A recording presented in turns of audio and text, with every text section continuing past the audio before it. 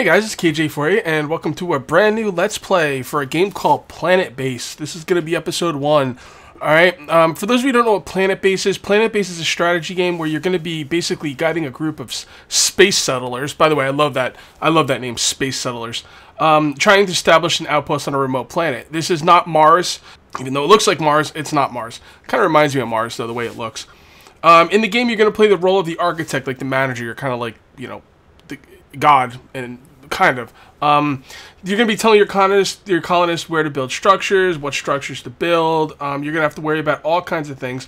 Um, you're worrying about stuff like food, water, oxygen, powering your base, sleep, morale, and the elements. Now, by the elements, I mean like meteor strikes. So, yeah, it's basically a space planetary um, building survival game. Uh, it's like three quarters view. The graphics are amazing. Let's just get let's just get started. I can't wait to play it. Um, you have three different kinds of planets. Um, you need to get a certain amount of milestones to unlock the next planet. Um, you've got this one which is accessible, then one uh, that's challenging and overwhelming. So you can see right here it says how many of the uh, of the milestones I've gotten. I've got survival, which is one of the milestones. So we're gonna go ahead and pick the planet. It's a medium-sized desert planet with a thick CO2 atmosphere, which partially protects it from meteors and solar flares. That's interesting. Um, characteristics. Light amount high. Solar panels operate at full capacity. Atmosphere density is high suitable for wind turbines. Uh, those are the two ways you get power. Uh, sandstorm sandstorm risk is high. I don't know what that does to you yet. Uh, solar flare risk is low which is nice. I guess solar flares would shut down all your, your mechanics. Uh, meteor risk is also low um, we've got a base name, which we will call um, Kage's Base. No, no, I'm going to stick with House. House of Pain. Oh, Kage's House of P. Kage's House of P. That sounds so wrong, I think I have to keep it. Alright, so let's start the game. So right now it's going to do some loading. Uh, one thing I kind of like have... Uh, uh, I have something like where I'm trying to get used to is the fact that you can't pause the game outright. So yeah, so you can't really pause the game, so it's a little bit harder to give you guys instructions on the game early because the early part of this game is very, very intense and uh, a little challenging. Actually, it's quite challenging in the beginning.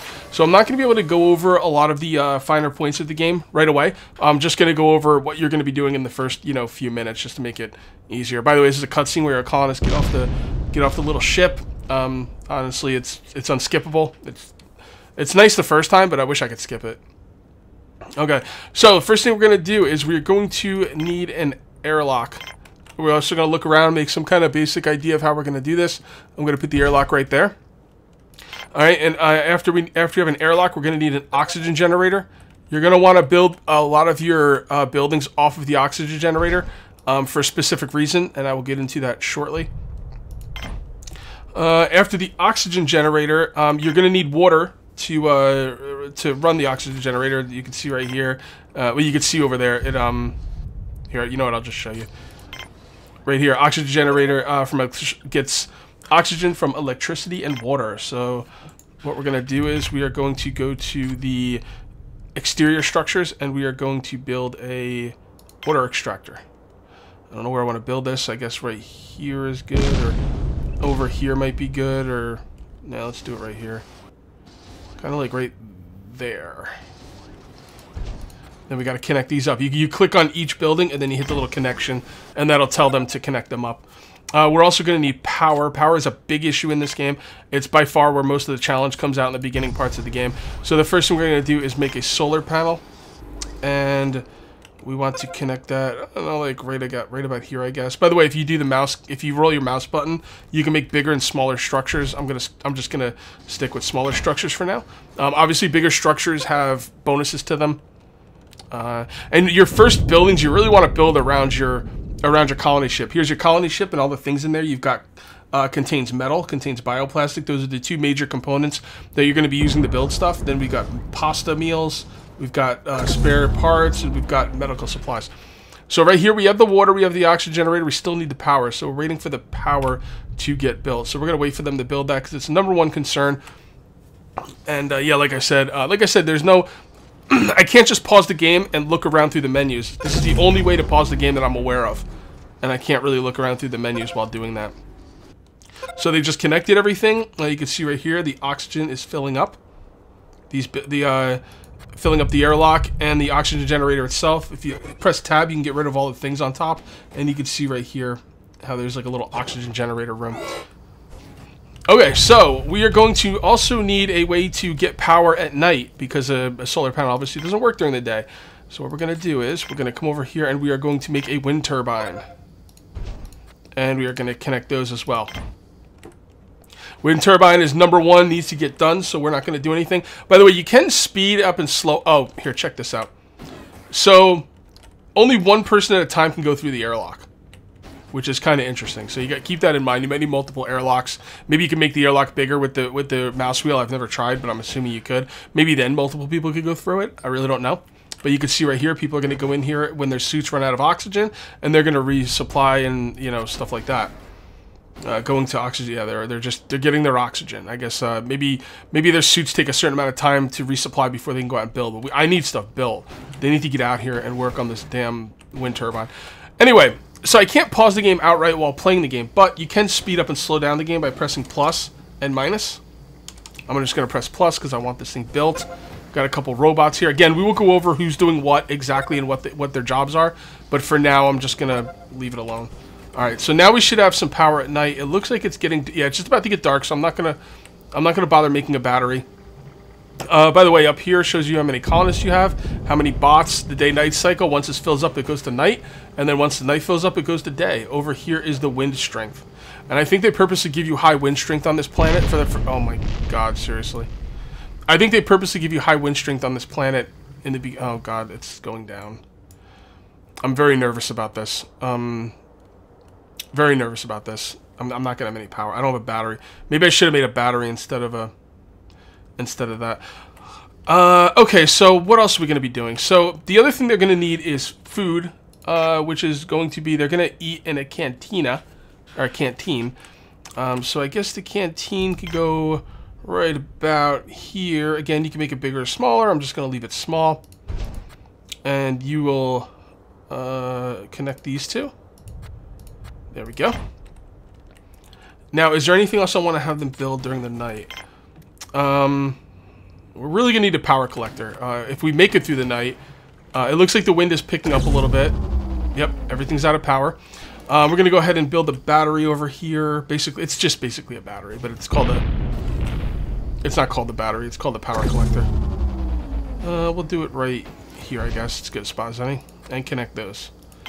Now, there's nothing else we can do. We just have to hope the wind picks up. Uh, you have a choice after the solar panel to either make a battery or a wind turbine. And honestly, I think the wind turbine is probably the way to go.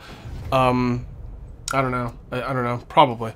But anyway, let's uh, speed up and pray we live through the night. Actually, you know what? Let's not speed up because now this will give us give me some downtime where I can actually explain to you a couple things. Okay, right here is the airlock. It actually shows you the O2 um, oxygen. It oxygen in this in these systems come from the oxygen generator and goes out goes out to everywhere in a very realistic way. Like if I built like a big thing over here and had like multiple rooms and, and corridors and stuff, when I make a building over here, the oxygen coming from here would take time to filter in. All these rooms would probably get less oxygen and oxygen would be flowing into the room that's farthest away from the oxygen generator. That's why the game kind of forces you and teaches you to connect as many structures to the oxygen generator as you can. It just it just helps oxygen flow. By the way, we're getting some power um, which is really nice. We're getting stored up some power, which is good because the wind did pick up. Although the wind's dying down now, but I might have made it. Might have should have made that battery a little bit earlier, but it's a learning process. Anyway, um, so yeah, so that's that's how the oxygen flow works, very realistically. So now we're going to look at some of the guys here, okay? By the way, um, like I said, Tab puts the domes up and brings them down, and Alt, if you look up here, Alt will switch this to a view of your resources. Um, we're going to look at some of our guys here. We've got a worker, okay? Each guy has their own health, nutrition, hydration, oxygen, sleep, and morale. And if you go right here, by the way, this window does pause the game, which is nice. Um, workers will perform the most basic uh, or physically demanding tasks in the colony. They mine resources, although not as efficient as a driller. They operate components in the processing plant. The processing plant basically you can mine in this game and the processing plant takes the ores out of the mine and turns it into something you can craft with it basically turns into resources you could build with They operate a radio console if required. They can carry resources around, but not as efficient as a carrier bot. Okay, what are you? Engineer. Okay, what does an engineer do? Uh, builds and repairs structures. They perform uh, more technical tasks. Builds and repair structures. They repair bots. They operate components in the factory and the robotics facility. Robots sound awesome, by the way. Uh, they operate the telescope console. Um, again, this game is just sounds really cool. Um, if required, they can carry resources around, but not as efficient as a carrier bot. I, it'd be nice if you could give these people uh, priorities. So, like, well, if required, maybe carrier bots. Once you have more carrier, I'd like to turn off. Um, maybe they already have priorities to make sense. And then uh, there's the uh, there's the botanist, which I'm not going to show you right now because I don't feel like looking for him. By the way, we just finished this. Once they finish this, it'll connect the O2, and uh, we'll have oxygen. Anyway, um, night is almost half over. We have a little bit of power, but it is being drained. Uh, there is no wind power to speak of. No wind strength. That's a problem. Um, if the power cuts out, uh, the airlock will shut down. They won't be able to get in and out. Uh, oxygen is... We're already losing oxygen. Okay, wind is picking up. Okay. Oh, the oxygen was lowered because uh, oxygen was filling into the canteen. Okay, so canteen. Okay, so there's another option here. A lot of buildings have these uh, edit structures where you could build stuff in there. So it looks like my guys are getting thirsty, so we're gonna build a drinking fountain. Um, I know the power just went out. Um, the wind is picking up though, so we should be okay. We're gonna build a drinking fountain. We're gonna build a couple of places for people to eat. Right there. And then we are going to make a meal maker Put that right here. I wish you could rotate this stuff a little bit. That'd be nice, but... Okay, meal maker. And uh, they might get bored, so we're going to make them a widescreen TV to watch while they're eating. Okay. I, I guess that I'm guessing that helps with morale. Okay. You can see right here some of the colors are getting thirsty. That's why, you know, got to get that water fountain made. All right. Wind is really good. Battery is getting power. Uh, and the, the, night is almost over, so we're gonna go a little crazy with power the next couple days. Uh, we actually need to. The next thing they're gonna need is a place to sleep. I'm assuming the day-night cycle is uh, not 24 hours on this planet. I mean, what are the odds it would be anyway? But I don't think it's like the same as Earth because they take a few days to get tired. Although I guess in dire circumstances, people can get tired, uh, can go days without sleep, but um, they don't seem to be bothered by it. So now we're gonna make a dorm. Okay. Um, this structure can only have one interior connection. It's a dead end, and the reason it's a dead end is because some of these uh, some of these buildings have these little like uh, things around them, and some have more and some have less. And because the the, the dorm has more of those, it uh, it makes it so it's a dead end. So we're gonna put that right. Oh, perfect. Oh god, that's like almost perfect. You know what I'm thinking? I'm thinking one of the problems I might be having is that I'm putting structures too far away from each other. And I don't know if there's any real benefit of putting structures far away from each other. Also, the connection thing, I wonder if the, the time to build that and if the resources put into it is um, decided by how far it is away from the, the building that it's connecting. So that's something I'm going to have to look into. Okay, so let's go ahead and make our dorm. So we'll make that close. Why not? It's a good spot for it. Connect. Okay. So that'll give him a place to sleep. And uh, along with that, we are also going to, um, we're going to set up another battery. Uh, we're going to make it a big battery. Maybe the biggest. Uh, let's go power, power thingy. And we'll put up the number four. Uh, is that a good spot for it? Probably not. Let's put this over here. Yeah, right there. And connect these. So that's going to be a big old battery, and um, I'm going to go. I'm going to go overboard with the power because running out of power is a death sentence. We'll put another solar panel. How about a big one? How many resources do we have left? Eh, we're doing okay on resources, but we don't have a ton. Um, you know what? We'll stick with the regular solar. We'll stick with the regular solar panel. Can I put one over here? I cannot. One right here.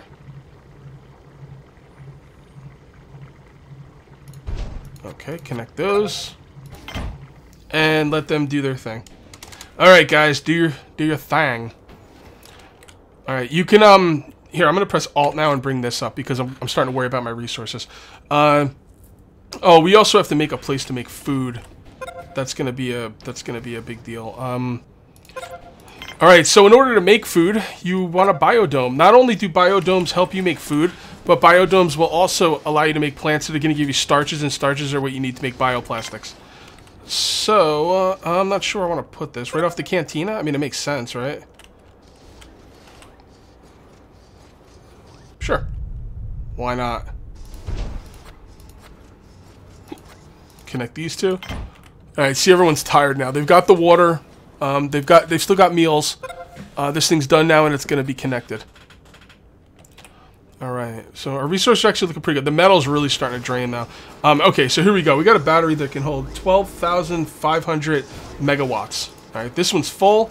This is giving power. I think we'll be okay through the night now, uh, at least for a while. May want to get some more wind turbines up, but uh, so far I think we're okay. People are tired, so what we're going to do is we're going to come over here to the dorm, and we're going to build some beds in it. Um, how much does this take? One bioplastic? We'll make a couple beds. Honestly, you probably don't need a couple beds right off the bat, but I've got the bioplastics. I want I want people to get rest. And we are really running low on um, metals at this point, so... One thing we could do is uh, you can you can scrap the colony ship, but I think, and I'm not sure if this is the case, but I've been told that if these items stay on the ground, they can deteriorate. Um, you need a storage unit for them. Let's see what it let's see what it costs to make a storage unit. Uh, that's a mine. We should probably get a mine going actually.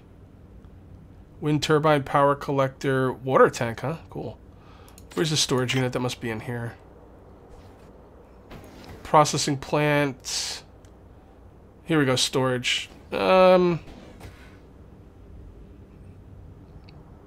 yeah, let's make a storage unit. I don't know where I want. We want it to be close. We want it to be close out here, but we can't put it close. Oh, that's a problem. I guess that's not a bad spot for the storage unit. We want it as close to the. We want it as close to the um. To the airlock as we could possibly get. I guess that's not a bad place for it.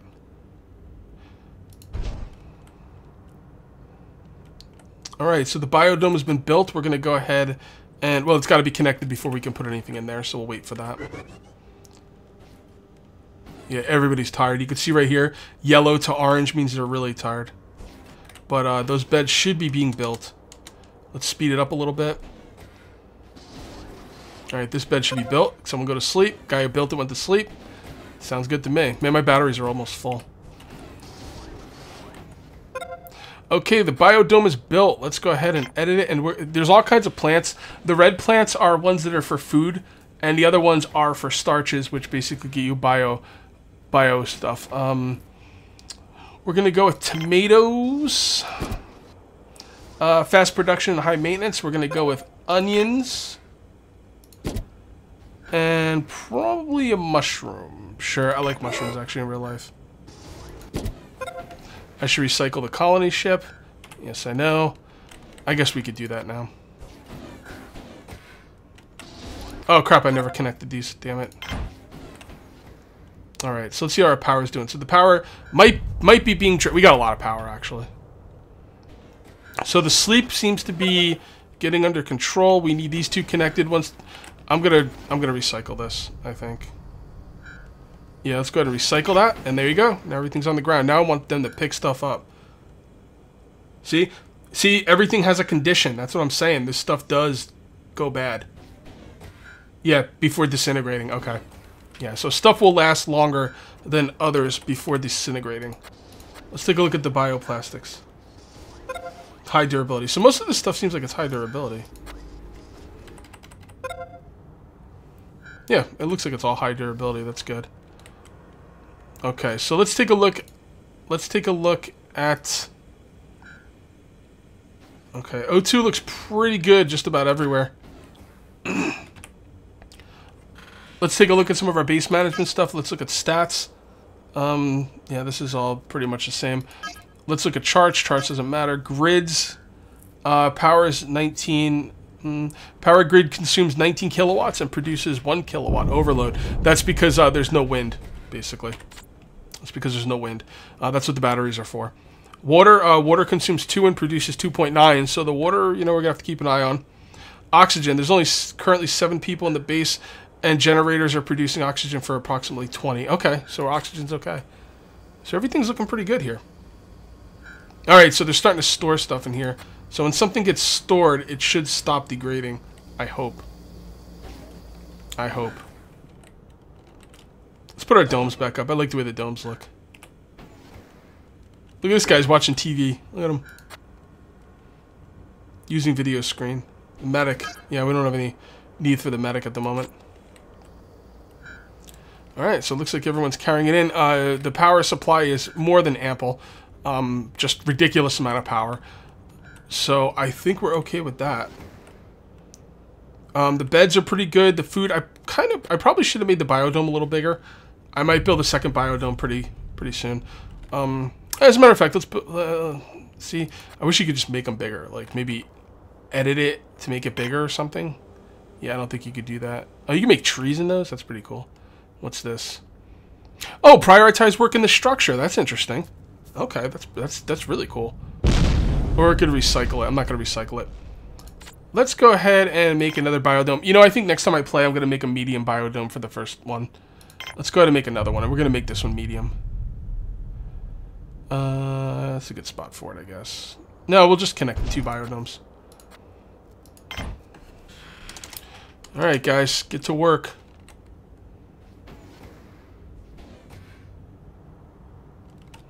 Alright, so they're to build the biodome. We got more meteors in the area. I think next video we are going to start working on mining. We should have um, a lot more materials now since, yeah, we took down the thing. But uh, yeah, we definitely got to start mining. We're going to need mining and we're going to need a processing plant. As a matter of fact, I don't think I want to wait for this biodome to be done. Um, I'm going to call this video here. Uh, if you guys are excited for this Let's Play, please leave the thumbs ups and, and all the love in the comments. Tell me how awesome this game is. I think this game's freaking fantastic. I think it looks awesome. I think it plays well. I think it's... I just really, really like it. So, um, oh, we just got some potatoes. Or tomatoes, sorry. Vegetables tomatoes. Cool. Anyway, um, yeah, so leave the love, and uh, I'll be making plenty more of these. So that's going to be it for episode one. I'll see you next time for episode two. Till then, take it easy.